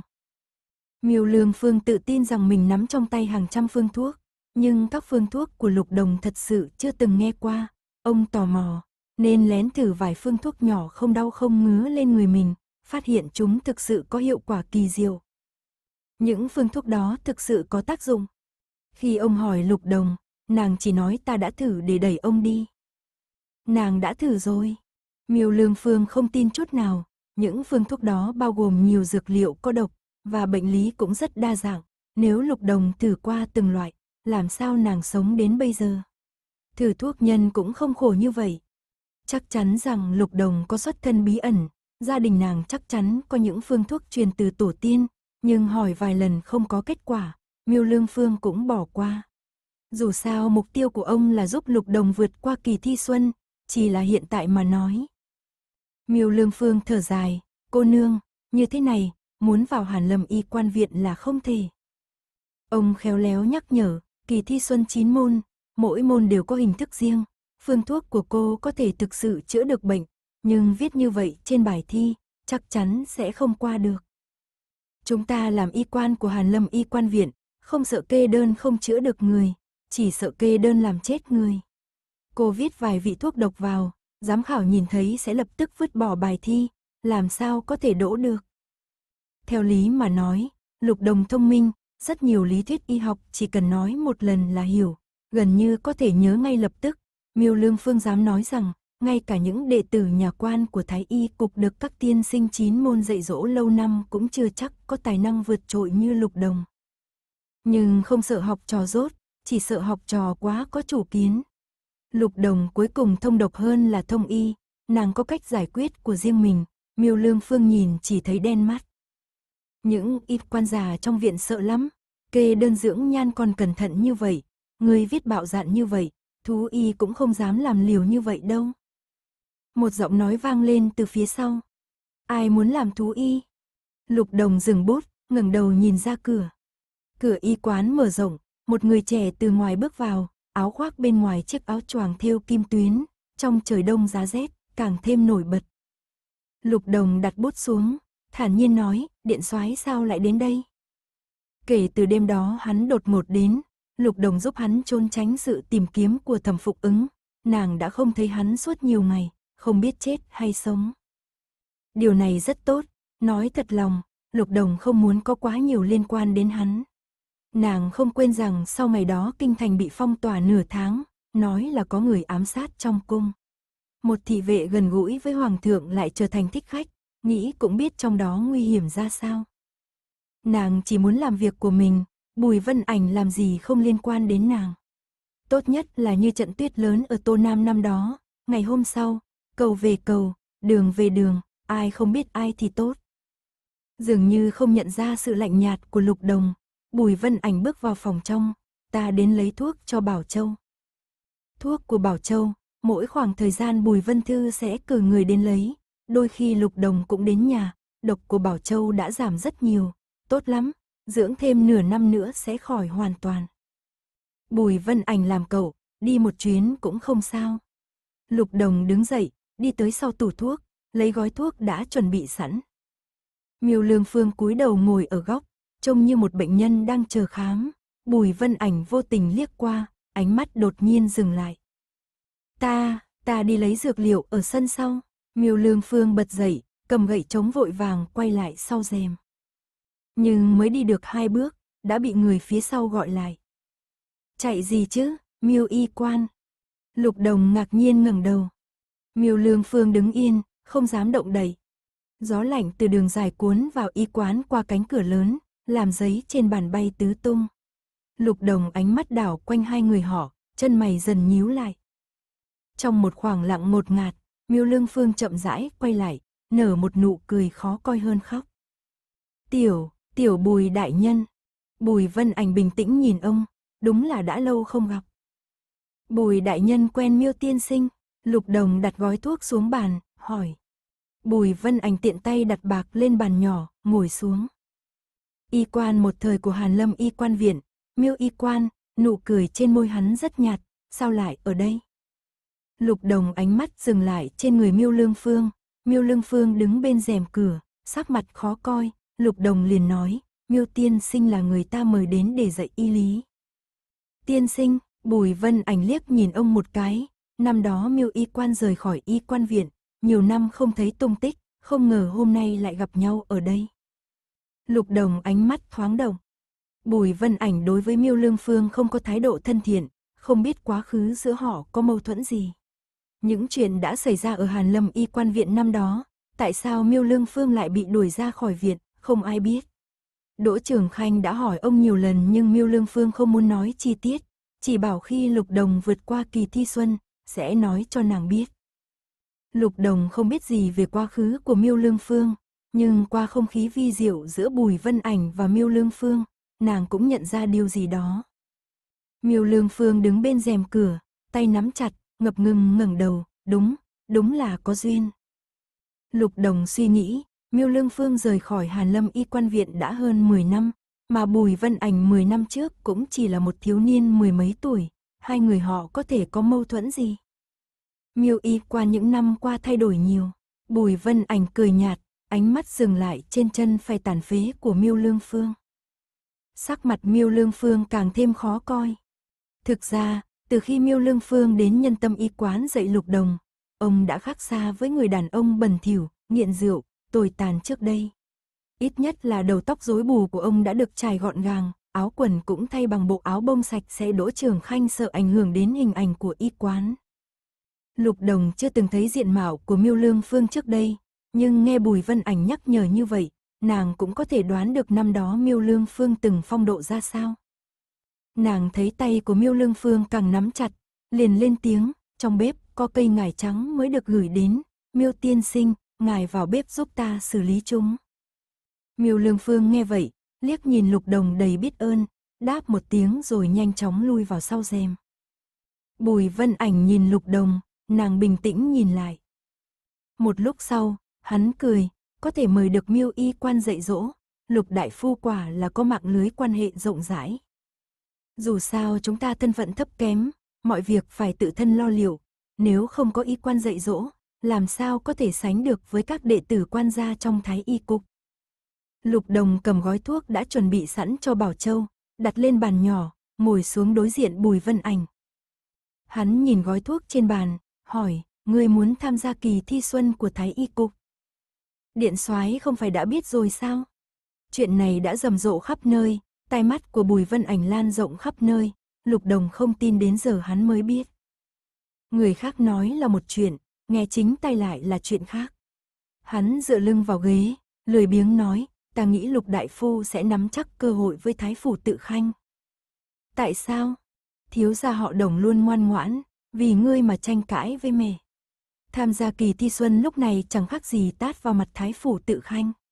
Nếu không qua được thì thôi, nếu qua được, mối thù này càng sâu thêm. Hắn liếc nhìn đống sách vở trong y quán, và những cuốn sách mà miêu lương phương biên soạn cho lục đồng, lông mày khẽ nhếch, lục đại phu không phải là đang nghiêm túc chứ. Lục đồng, nhưng ngươi thấy, ngươi không sợ đắc tội với thái phủ tự khanh. Không sợ. Hắn thần sắc nghiêm lại, nhìn chăm chăm lục đồng, một lúc sau mới như hiểu ra mà lên tiếng.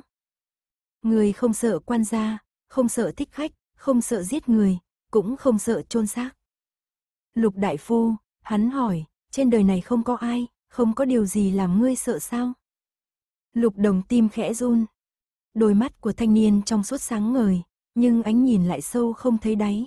Nhìn người lúc đầu như quan tâm, nhưng nhìn kỹ lại có sự sắc bén khó nắm bắt như đang chờ đợi để lột trần người ta từ trong ra ngoài. Nàng cụp mắt xuống, bỗng nhiên mỉm cười. Trước đây có, nàng nói giọng nhẹ nhàng. Có cái gì? Trước đây có những điều khiến ta sợ, nhưng... Nhưng sao?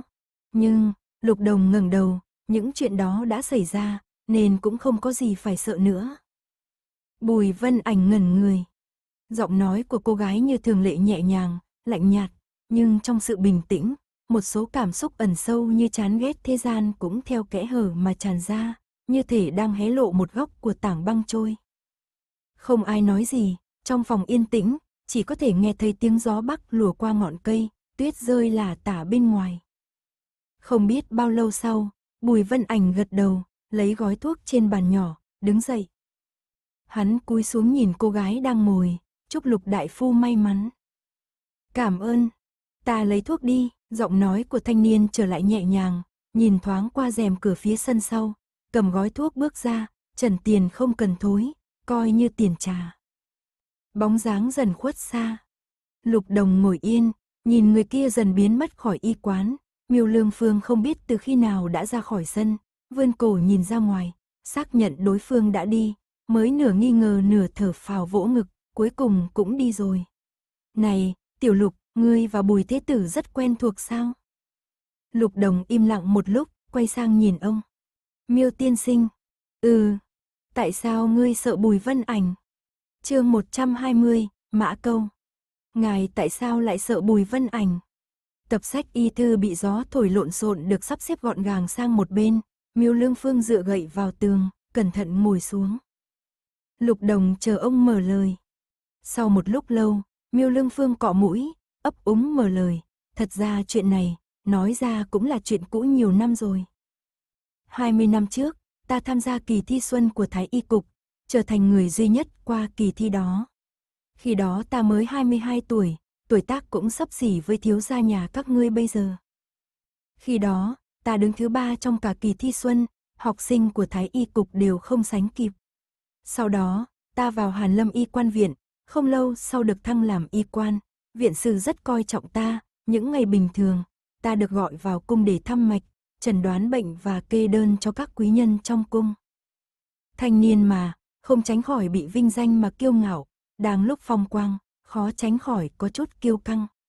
Khi còn trẻ, tính cách thẳng thắn, đôi khi đắc tội người khác, dựa vào việc được các quý nhân trọng dụng, ta vẫn bình yên vô sự. Lâu dần, ta quên mất cả họ của mình. Miêu Lương Phương nói về chuyện cũ, ban đầu còn có chút không thoải mái, nhưng nói mãi, dần dần bị xúc động bởi những ký ức đã qua, khuôn mặt biểu lộ vẻ thở dài. Lục Đồng lặng lẽ lắng nghe. Bùi ra tiểu tử, lần đầu ta gặp hắn, hắn mới 8-9 tuổi, đi theo phụ thân hắn vào cung. Phụ thân hắn là Chiêu Ninh Công, hắn là Chiêu Ninh Công Thế Tử, bộ dáng đẹp đẽ, người lại thông minh, khi còn nhỏ đã rất được yêu mến. Miêu Lương Phương nhớ lại lần đầu tiên gặp Bùi Vân Ảnh, chỉ thoáng nhìn trong cung, đứa trẻ đó tuổi còn nhỏ nhưng đã rất xuất chúng, mặc bộ trang phục gấm màu tía với hình thêu chim phượng, môi hồng răng trắng, đôi mắt sáng như sao, đã có thể thấy được phong thái trong tương lai. Những đứa trẻ quý tộc như vậy, cuộc sống như con đường bằng phẳng đã được trải thảm, không làm gì cũng có thể sống trong nhung lụa, dễ dàng thăng tiến. Không giống như bọn họ khi còn nhỏ, phải lăn lộn trong bùn để kiếm miếng ăn, đến cả một đôi giày cũng không có tiền mua. Miêu Lương Phương có chút ghen tị. Vốn dĩ ta và hắn cũng không có liên hệ gì. Sau đó một ngày đêm khuya, người của Chiêu Ninh công phủ mang thiếp mời y quan của Hàn Lâm y quan viện đến khám bệnh, nói rằng trong phủ có bệnh cấp. Đêm đó ta đang trực, thuận miệng hỏi, thì ra là con ngựa yêu quý của tiểu thế tử họ Bùi ăn phải cỏ độc, đang nguy kịch. Lục Đồng ngẩng đầu, ngài không cứu sống được nó. Nếu chỉ là không cứu được thì còn đỡ, Miêu Lương Phương cười khổ, khi đó ta không đi khám. Lục Đồng ngạc nhiên, khi đó còn trẻ, kiêu ngạo, lại đang bận rộn biên soạn y thư, tâm trạng không tốt, nghe nói là chữa ngựa, ta cảm thấy người nhà họ Bùi dựa vào địa vị cao quý mà coi thường ta.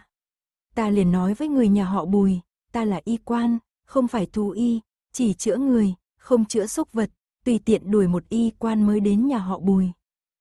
Lục Đồng ngạc nhiên, ngài cũng có lúc như vậy sao? Những lời kiêu ngạo như vậy, rất khó liên tưởng đến Miêu Lương Phương ngày nay, người vừa nhìn thấy Bùi Vân Ảnh đã vội vàng bỏ chạy.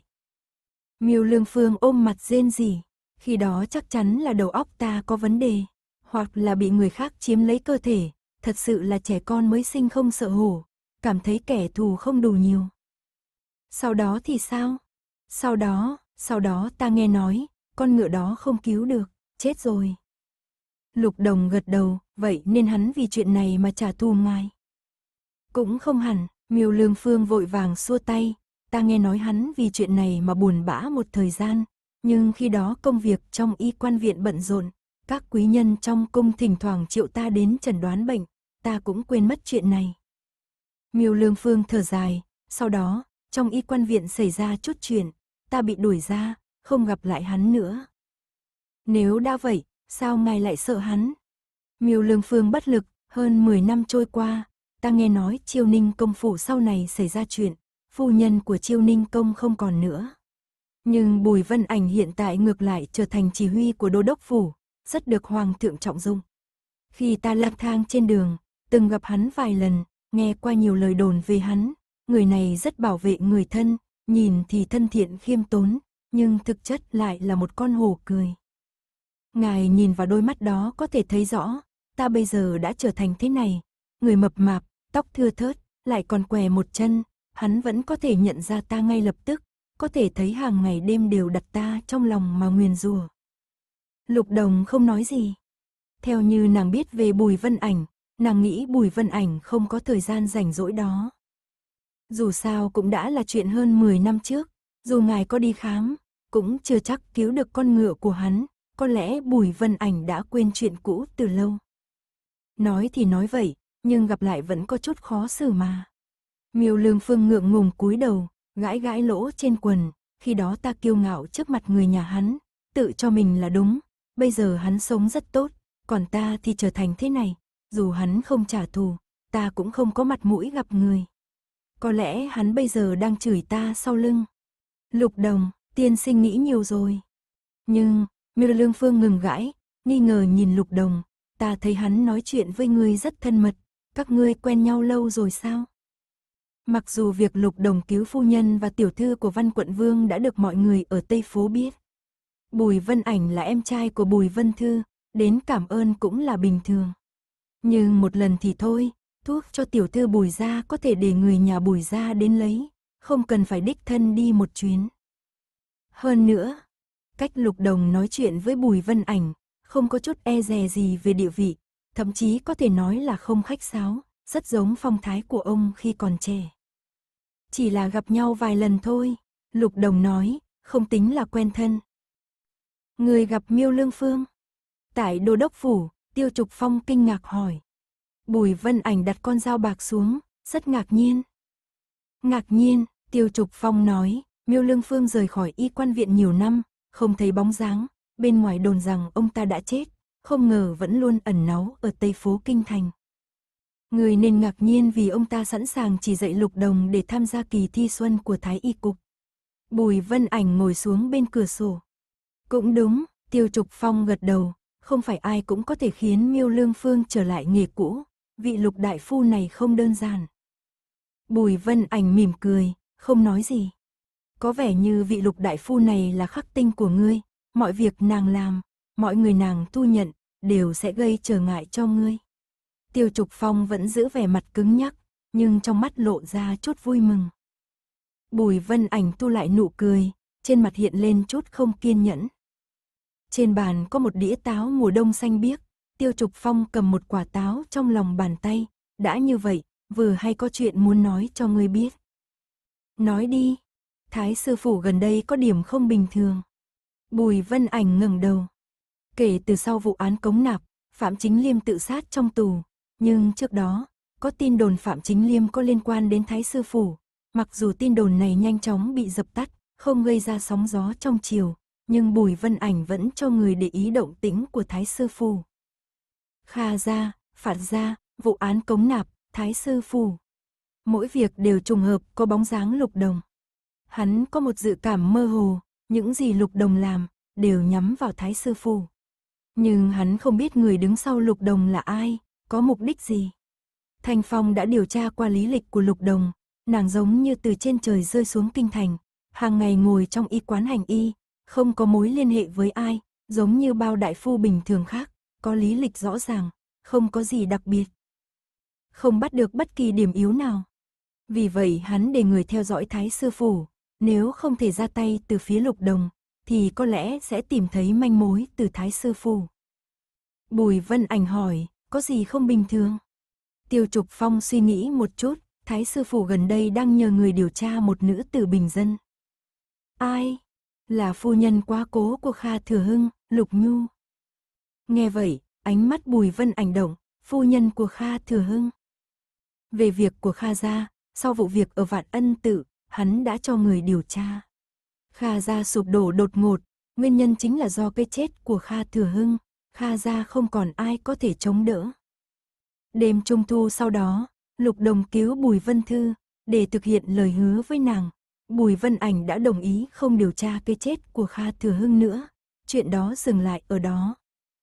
Vụ án cống nạp, sự sụp đổ của Phạm gia, tin đồn về Thái Sư Phủ, tất cả mọi việc, Kha gia chỉ là một thương gia nhỏ, và người vợ đã mất sớm của Kha Thừa Hưng, càng giống như một hạt bụi vô tình rơi trên tấm thảm phức tạp, bị ai đó vô tình phủi đi, không để lại dấu vết.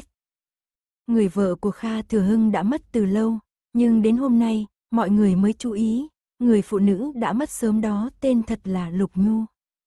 Lục, Tiêu Trục Phong lạnh lùng nói, người của Thái Sư Phủ đang âm thầm điều tra Lục Nhu, vì vậy ta đã đến Hoàng Thành Tư, tin tức của họ nhanh hơn chúng ta, người còn nhớ cặp anh em họ Lưu trong vụ án cống nạp không? Nhớ, cặp anh em họ Lưu đó có thân phận thấp kém, nhưng lại có tên trong danh sách gian lận trường thi, có liên quan đến Phạm Chính Liêm, thật không đơn giản. Cha của cặp anh em họ Lưu đó, Lưu Côn, vài năm trước từng là người tố cáo trong một vụ án, người mà ông ta tố cáo là em trai của Lục Nhu, Lục Khiêm. Ánh mắt Bùi Vân Ảnh đột nhiên ngẩng lên, gì cơ? Lục Khiêm sau đó bị xử tử, có lẽ chính vì chuyện này, Lưu Côn mới có thể kết nối với viện thẩm hình, còn Thái Sư Phủ, đa phần có liên quan đến vụ án đó, nếu không thì sẽ không có tin đồn như vậy. Còn Kha Gia, cũng từng tặng đồ sứ cho tiệc sinh nhật của đại nhân Thái Sư Phủ. Tiêu Trục Phong nói với vẻ bình tĩnh, những gì ngươi bảo ta điều tra, hiện tại chỉ có vậy. Sắc mặt Bùi Vân Ảnh lạnh lùng, không nói gì. Phu nhân của Kha Thừa Hưng tên là Lục Nhu, Lục Nhu mất sớm, sau đó Kha ra sụp đổ. Người tố cáo Lưu Côn đã đưa Lục Khiêm vào ngục, sau đó Lưu Côn chết thảm dưới chân núi Vọng Xuân. Quan phán quyết của viện thẩm hình, Phạm Chính Liêm, kết án Lục Khiêm và xử tử hắn, sau đó Phạm Chính Liêm bị tống vào ngục, tự sát trong ngục. Từng chuyện từng việc, những người liên quan đều có kết cục bi thảm. Người tiếp theo là Thái Sư Phủ. Không ngờ nàng sẽ cải trang xâm nhập vào Yến Tiên Lâu. Đêm đó sinh nhật của tịch Ngọc Đài, khách quý trên tầng 3 rất ít. Từ đầu hắn đã nghi ngờ, nhưng không rõ lý do, bây giờ thì mọi chuyện đã rõ ràng. Lục Đồng từ đầu đã nhắm vào nhà họ tịch. Bùi Vân Ảnh ngồi bên cửa sổ, ánh mắt phức tạp khó hiểu. Hắn đã nghĩ đến nhiều mục đích của Lục Đồng, nhưng không ngờ lại là để báo thù. Một cuộc báo thù điên cuồng và cẩn thận đến từng chi tiết như vậy. Tiêu Trục Phong nói, ngươi có phải đang nghi ngờ? Nàng họ Lục, Bùi Vân Ảnh cắt ngang lời bạn. Người của Thái Sư Phủ đến giờ vẫn chưa tìm ra manh mối, vì Lục Đồng trong vụ này, luôn ở vị trí người ngoài. Nàng khéo léo đặt mình ngoài cuộc, sắp xếp, bố trí, bằng những sự trùng hợp tưởng như không liên quan, đẩy tới kết quả cuối cùng. Nhà họ tịch không biết có một lục đồng tồn tại, nên không có cách nào ra tay. Còn Bùi Vân Ảnh từ đầu đã chú ý đến lục đồng, thậm chí còn sớm hơn khi kế hoạch báo thù của nàng bắt đầu, nên họ giống nhau về họ, rất dễ liên kết lại. Nàng chỉ là một nữ đại phu bình thường, một mình nàng rất khó làm được. Tiêu Trục Phong nhắc nhở, có lẽ sau lưng nàng còn có người khác. Với sức của một người mà làm được đến mức này, ngay cả họ cũng chưa chắc làm được, huống chi mục tiêu tiếp theo của nàng là Thái Sư Phủ. Một nữ đại phu nhỏ muốn đối phó với Thái Sư Phủ, như một giấc mộng hão huyền, trừ khi lục đồng điên rồi, nếu không chắc chắn sau lưng có người chống lưng. Bùi Vân Ảnh không nói gì, một lúc sau, hắn hỏi, nhà họ tịch bây giờ đang điều tra gì? Đang điều tra gia tộc nhà họ Lục, Lục Nhu là người ở huyện Thường Vũ, gia đình ít người, ngoài Lục Nhu và Lục Khiêm hai chị em, hiện tại không có chị em nào khác. Hiện tại, người điều tra nói từng có một cô con gái nhỏ, 7-8 năm trước không biết là chết hay mất tích, không nghe nói đến tin tức. Bùi Vân Ảnh suy nghĩ một chút, gọi ra ngoài, Thanh Phong. Thanh Phong bước vào, đại nhân. Hắn nói, người đích thân đến huyện Thường Vũ, tin tức về gia đình họ Lục, không được bỏ sót một tin nào. Những năm qua tin tức về cô con gái mất tích của nhà họ Lục, thói quen, tướng mạo, nhất định phải điều tra rõ ràng. Dạ, đại nhân. Thanh Phong nhận lệnh rời đi, Tiêu Trục Phong nhìn Bùi Vân Ảnh, ngươi nghi ngờ nàng là con gái mất tích của nhà họ Lục. Tại sao không thể? Bùi Vân Ảnh hỏi lại. Đứa con gái mất tích nhiều năm, có thể sống sót đã là không dễ dàng. Hơn nữa, dù nàng thật sự là con gái nhà họ Lục, đã mất tích nhiều năm, một mình đến kinh thành giết người, người bình thường khó có lòng thù hận như vậy. Ta thấy, trừ khi có người muốn đối phó với Thái Sư Phủ, mượn nàng làm dao trong tay. Bùi Vân Ảnh cười nhưng không nói. Người bình thường thì không thể, nhưng Lục Đồng rất có thể. Mấy lần giao thiệp với nàng, cũng không có lần nào chiếm được lợi thế. Sự thù hận của vị Lục Đại Phu đó, không phải là chuyện bình thường. Nói đến thù hận, Tiêu Trục Phong hỏi hắn, người không định báo thù miêu lương phương. Đó là con ngựa mà người yêu quý nhất. Nghe vậy, nụ cười của người thanh niên nhạt đi. Hắn nhớ đến con ngựa đỏ yêu quý của mình, ông ngoại trong số những con ngựa giữ đích thân chọn tặng hắn, con ngựa nhỏ màu đỏ đẹp và kiêu ngạo. Anh em trong nhà vì tranh giành ngựa mà đánh nhau, nhưng chỉ một tháng, con ngựa đỏ đã vì ăn phải cỏ độc mà chết trong đêm tối. Hắn không nhớ mình có rơi nước mắt không, nhưng vẫn nhớ cảm giác khi ôm con ngựa đỏ, nhiệt độ của con ngựa trong lòng bàn tay dần dần lạnh đi. Đó là lần đầu tiên trong cuộc đời suôn sẻ của hắn cảm thấy bất lực, không ngờ trong những năm tới, những khoảnh khắc bất lực như vậy còn rất nhiều. Hắn cúi đầu, cười nhạt, ta đâu có rảnh như vậy. Ồ, tiêu trục phong mặt không biểu cảm, nhưng giọng điệu có chút chế giễu, thật là đã trưởng thành, lòng dạ cũng rộng lượng, ta còn tưởng ngươi sẽ hận thù, sẽ đạp ngã kẻ đang lâm vào khó khăn, không ngờ không ghi hận. Bùi vân ảnh nhìn hắn. Tiêu trục phong trông rất nghiêm túc. Sau một lúc lâu, người thanh niên cười lạnh một tiếng, không, ta rất ghi hận. Phần này đến đây là hết. Mời các bạn theo dõi tiếp các video khác trên kênh. Nếu các bạn yêu thích kênh, hãy nhấn theo dõi nhé. Cảm ơn các bạn.